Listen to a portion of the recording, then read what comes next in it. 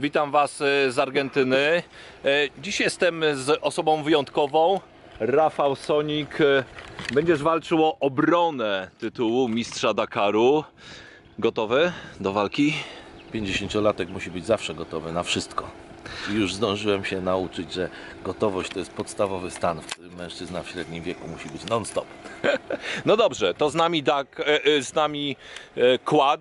Powiedz Rafał, dwie, trzy zmiany w stosunku do tego kłada z poprzedniego roku, jakie tutaj wprowadziliście. Obniżyliśmy środek ciężkości, robiąc zbiorniki na wodę i zbiorniki na narzędzia niżej na podłogach y, zamiast z tyłu na zderzaku. W ten sposób zmniejszymy zderzak.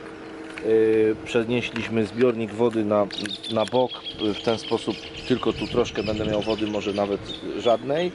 Mamy zmienione mocowanie pasów, y, mamy podwójne mocowanie błotników, bo spodziewam się błota, a w ten czasami się zdarzało, że przy dużej ilości błota to pojedyncze mocowanie się urywało.